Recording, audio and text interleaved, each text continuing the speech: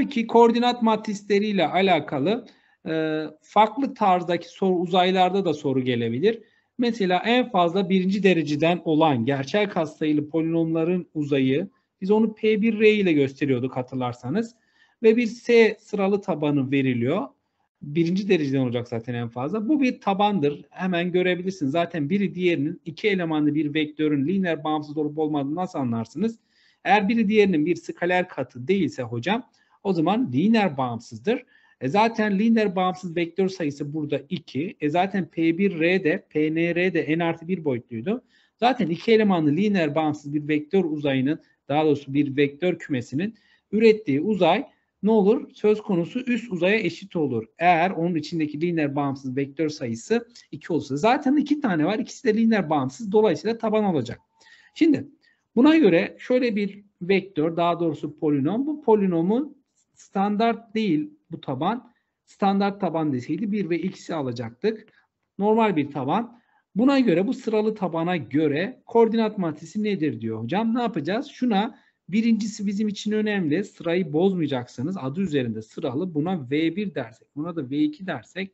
A çarpı x artı 1 artı B çarpı x eksi 1 diyeceğiz.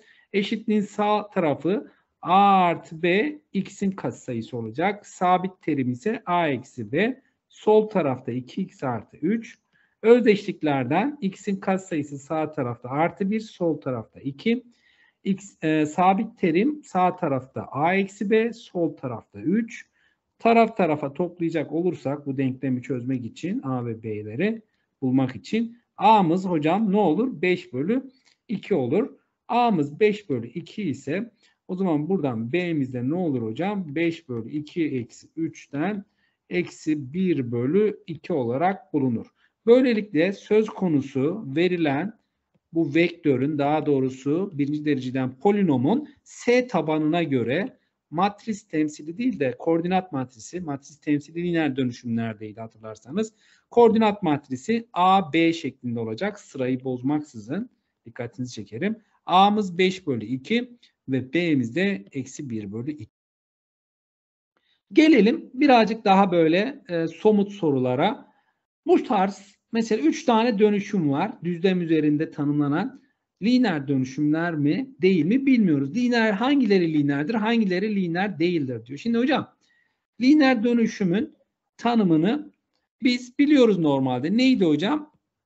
T eğer A çarpı V 1 artı B çarpı V2 A çarpı TV1 artı B çarpı TV2. Tek bir koşulla yazdım. Normalde iki tane koşuldu.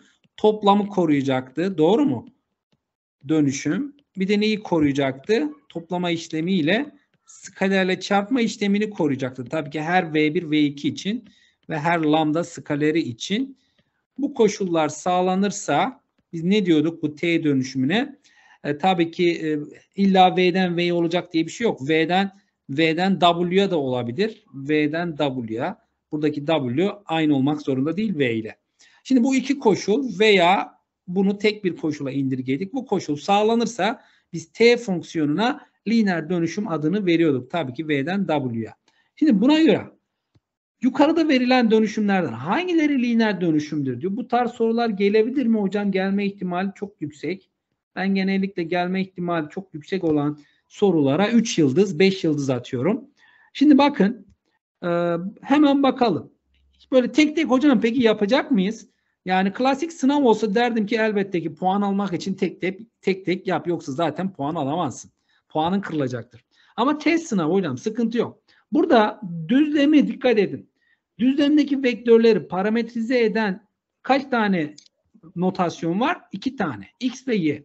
Direkt onların çıktılarındaki kuvvetlerine bak. Hepsinin kuvvetleri bir mi? Evet bir. İki olsaydı lineerlik bozulur. Çünkü neden lineerlik bozulur? X artı y'nin karesi eşit değildir. X kare artı y kare. Eğer böyle bir eşitlik sağlansaydı o zaman lineer olur derdim. O yüzden direkt parametrelerin kuvvetlerine bakacağım. Bir de kendi başına böyle ne olacak? Deli divane gezen sabit terimler olmayacak. Öyle bir şey görebiliyor musun hocam? Öyle bir şey de yok. Mesela burada bir artı bir olsaydı işi bozulurdu. O yüzden direkt bu lineerdir hocam. Hiç kontrol etmene gerek yok. Zaten doğal olarak bu iki koşul sağlanacaktır. Gelelim buna. İkinci koşul sağlanacak mı? Şimdi ikinci koşul sağlanmaz. Çünkü lineer dönüşümün özellikleri sıfır vektörü sıfır vektöre taşıyacak. E şimdi hocam sen buraya sıfır sıfır yazacak olursan sıfır sıfırın da sıfır sıfıra gitmesi lazım. Yani burası eksi bir bir oldu. Ha, o zaman lineerlik bozuldu. Gitti. Gelelim buna.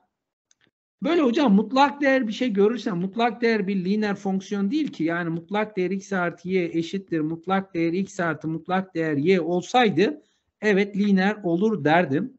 O yüzden kesinlikle olmaz. Kesinlikle sağlamayacaktır. Yalnız bir lineer dönüşümdür. Sorunuz yok mu? Bakalım. M'nin matris temsili belli. 1'e 1. X'in katsayılarına odaklanın. Y'nin katsayıları eksi 1'e 2 dedik değil mi? T'nin matris temsiline bakın. X'in katsayısı 2'ye 1. Y'nin katsayısı 3'e eksi 1. F'nin matris temsili X'in katsayısı burada 1. Burada 5. Y'nin katsayısı burada 4 yazdık burada ve burada 3. Bunu da buraya yazdık. Şimdi hepsinin determinant sıfırdan farklı mı? Farklı. Doğru mu? Dolayısıyla hepsi izomorfizmadır. Tamam güzel. İki tane birebir yani iki tane birebir örten fonksiyonun bileşkesi de birebirdir. Bunlar determinant sıfırdan farklı olduğundan hepsi izomorfizma yani birebir örten terslenebilir fonksiyonlardır. Dolayısıyla iki tane birebir örten fonksiyonun bileşkesi de nedir? Bir birebir örten fonksiyondur. Dolayısıyla izomorfizmadır. İkisi lineer dönüşüm olduğundan bir doğru. Ee, T bileşke F de doğru. O da bir izomorfizmadır. Çünkü ikisinin determinantı sıfırdan farklı. O da doğru. Peki M artı T artı F dedi. Topla hocam bunları. M artı T artı F toplayalım. 1 artı 2, 3, 1, 4.